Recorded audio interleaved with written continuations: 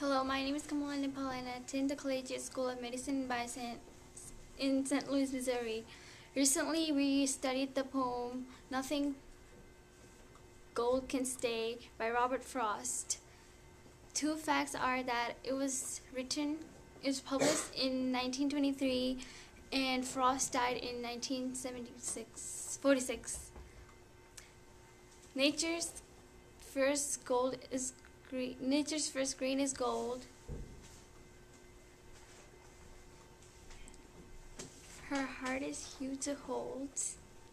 Her early leaves flower, but only so an hour.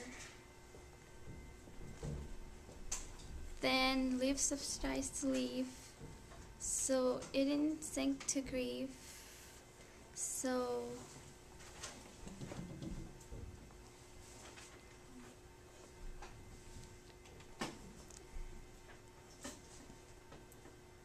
Dawn.